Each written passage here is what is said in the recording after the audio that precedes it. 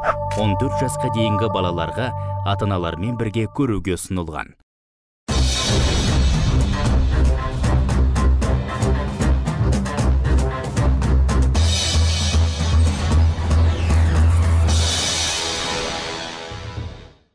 Әлем экономикасының шаңырағын көтерген құрылыс саласы қазақстан экономикасының да локомотиві.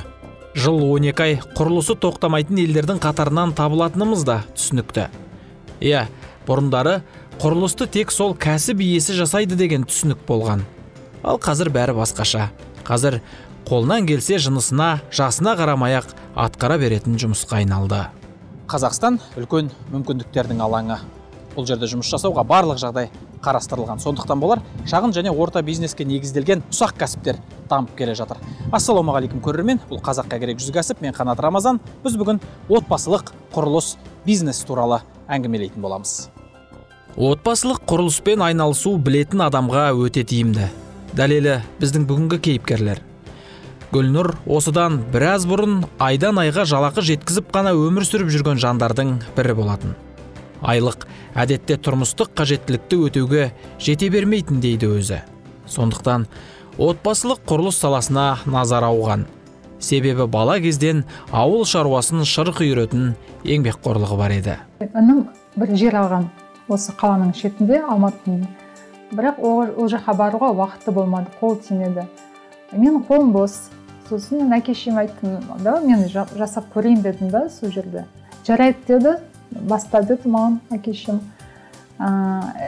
сосын интернеттен алып мен өзім білмеймін ғой қыз баламын ә, фундамент салу үшін қалай не салатын ішіне қандай песок қанша көлемінде ә, бетон ә, цемент салу керек соның бәрін іздеп интернет арқылы бәрін қарадым.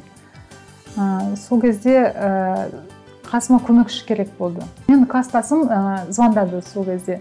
Жұмыс іздеп мен алматыға келе жатқан едім жұмыс бар ма деп. Ей маған кел дедім мен саған жұмыс тауып беремін дедім де оны шақыртып алып екеуміз бірге бастадық. Осылай осылай бір үйді салып шыққан гүлнұрға талайлар таң қалған да шығар. Анығы оның осы кезден бастап құрылысқа аңсары ауған. Құрылыстан әсіресе отбасылық құрылыстан отбасының материалдық жағдайын түзеп тастайтынына көзі жеткен. Себебі бұл саланың басты артықшылығы тапқан пайдаңыз сан тарапқа бөлінбей ортақ қазынаға түседі. Ә, түн күн түн істейді да екі күні бос. Екі күн бос үйде жатқанша мен айттым да давай бір жұмыс іздейік бір екеуміз бір істейтін дедім да. Ә, сөйтіп интернеттен не істейміз? Көп нәрселерді қарадық бір жобаларды өзіміз бір идеяларды ақылдасып бір бірімізбен анау болмады мынау болмады. Әрине мұндай салада еңбек ету үшін 21 ғасыр жарнама сұрайды. Ғаламтор жарнамасын жақсы игеріп құрылысқа сала білсең болды.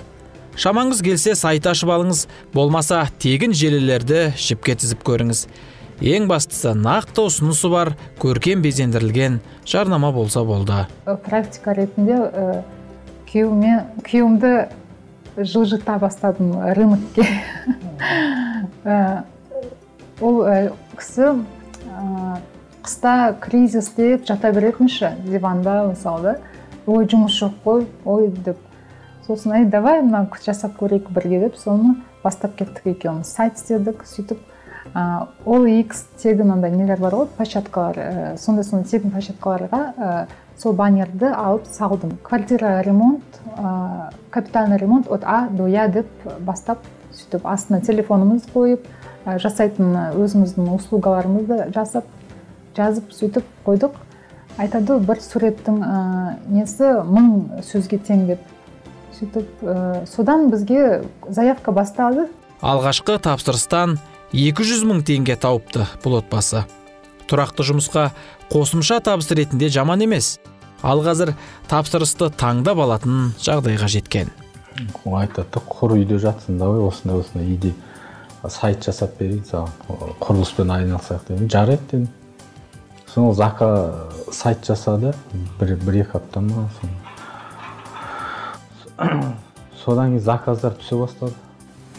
есіміңіз кім болады иә қабылдаймыз иә бүгін бола ма? Қарайды объемын бәрін қарайды иә есептеп бәрін қағазға жазып береді. Беріңіз иә сағат жетіде. Иә кәсіптің осы моделі барлық салаға келе беретін сияқты. Ең бастысы отбасыңызбен бірге жасаңыз. Жарнаманы қалай беруді компьютерді қалай меңгерсеңіз өзіңіз қалаған саланы жақсы білсеңіз өте жақсы мүмкіндік екені даусыз. Енді қазір екі балам бар. Үлкен қызым төрт жарымда ә, кішкентай балам бірде. Ә, оған қарамастан да ә, социальный сеть телефон арқылы бір саусағың бос болса болды деп қолмен жасай бересің. Сезонный жұмыс та бұл негізі. Енді қай, қай, когда болады қашан болады қашан болмайды кейде әртүрлі. Енді жоқ дегенде сол 300 минимальный а көбі бір жеті жүз сегіз жүз сондай болады тек құрылыс саласынан ғана айына орта есеппен 500 мың теңгедей табыс тауып отырған отбасына жарайсың деу керек шығар сосын бұл кәсіпте ерлі зайыптылардың бір біріне деген түсіністігі маңызды уақытты үнемдеу үшін қарқын тоқтамау үшін ерекше қадамдарға да бару керек шығар мүмкін ә, телевизорды да мен алып сатып жібердім үйде телевизор жоқ көрмейміз біз оны.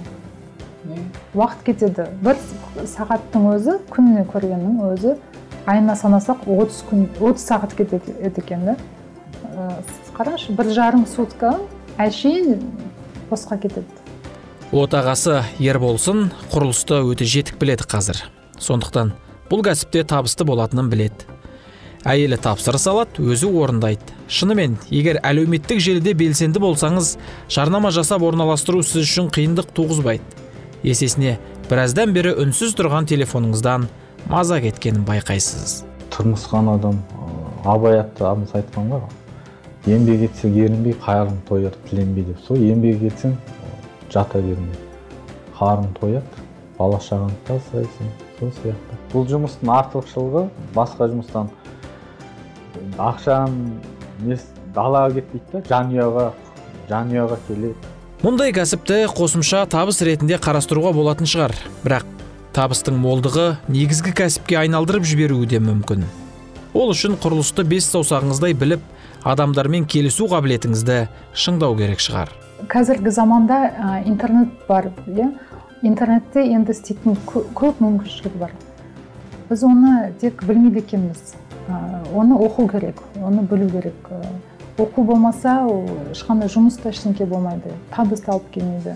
Көбіне мен өзім айналыссам телефонның бәрі өзімнің телефоным қойып қойғанмын ә, заявка түскенде маған звондайды елдер ә, мен ақылдасам сөйлесем адресін бәрін нақты жазып аламын. Объем работы бәрін қанша не істеу керек соның бәрін жазып алып сосын ә, күйеуімді шақырып оған айтам болмаса ватсап арқылы сообщение жазып жіберемін осындай жерге бару керек осындай заявка түсті деп. Ары қарай ә, күйеуім барып ә, сол жерге көріп уже өз көзімен бағалай бастайды. Өзінің жұмысын бәрін бағасын сол жерде нақты шешіп береді. Бұл жанұялық бизнес болып тұр. Қазақта ешкім тоныңды шешіп алмас деген қисық сөз бар. Тәуекел етіп көрсеңші дегенді білдірсе керек. Отбасылық қызмет көрсету бағыты тек құрылыспен шектелмейді. Барлық салада ойластырып көру керек шығар. Себебі ең бастысы ол мықты идея. Отбасылық кәсіп моделі барлық дамушы елдердің экономикасының негізгі тірегіне айналған. Себебі үлкен кәсіп дәл осындай кішкентай талпыныстардан басталады. Бұл аптаға айтарымыз осы болатын ағайын. Келесі кездескенше аман. Сау болыңыздар.